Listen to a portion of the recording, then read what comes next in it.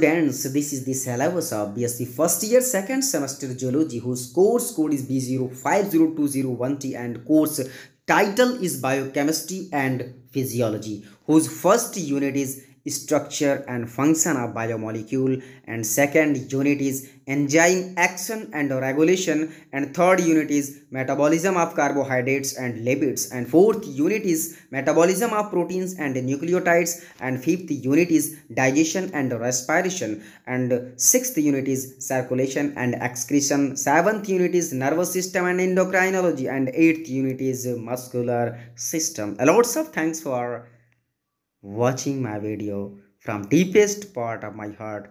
Stay tuned for more updates